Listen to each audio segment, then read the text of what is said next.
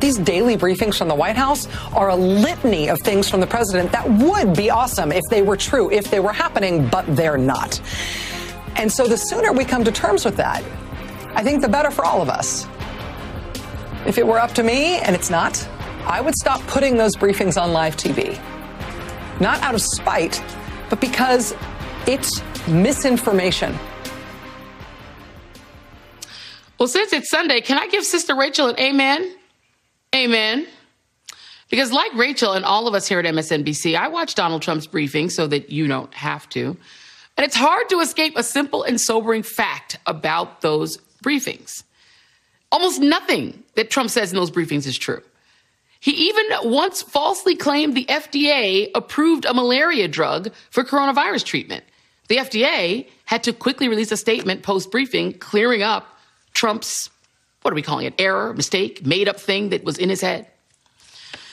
Trump also forced actual knowledgeable experts like Dr. Tony Fauci to play cleanup for him. And his daily briefing, the lies in it are not just irritants, they're dangerous. Trump's followers believe him. They believe anything he says. And the things that he's saying put them in danger.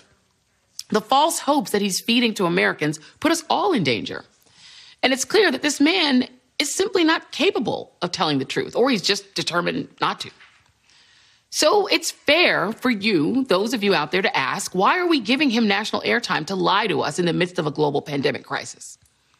Because what's clear is that Trump seems to need these pressers for him. It's not an original thought at all. But to paraphrase many, many, many people who've noted this, they seem to be his substitute for his rallies, where he can lather himself in the praise of everyone around him that they're forced to do while standing too close to him on the dais. They seem required to serve it up, and he seems to need it. While he can bathe in the reflected glory of actual experts like Dr. Fauci. So the question is why are we continuing to do it? And I, I, I, would like you to imagine just for a moment what it would look like, for just one moment, if it was not Donald Trump, but it was Barack Obama, President Barack Obama, standing up there doing these briefings and making things up and not being able to back it up with facts. How would they treat him? You don't even have to imagine that because A, Barack Obama wouldn't have done that and didn't do that. But let's take a look at the way that the former president, Barack Obama, was treated when it was not a pandemic, but the ACA, the Affordable Care, Care Act website, it went live and it didn't quite work. Here is how he was treated by the media. You know, that, that's on me. I mean, uh, we fumbled the rollout on this healthcare law. Do you feel as though the flawed healthcare rollout has led to a breach in the public trust and confidence in government? And if so, how do you plan to resolve that? You hear criticism on the Hill that you and your White House team are too insular. Is that how this mess came to be? You said while the law was being debated, if you like your plan, you can keep it. You said after the law was implemented or signed, if you like your plan, you can keep it. Americans believed you, sir, when you said that to them over and over. Do you not believe, sir, the American people deserve a deeper, more transparent accountability from you as to why you said that over and over?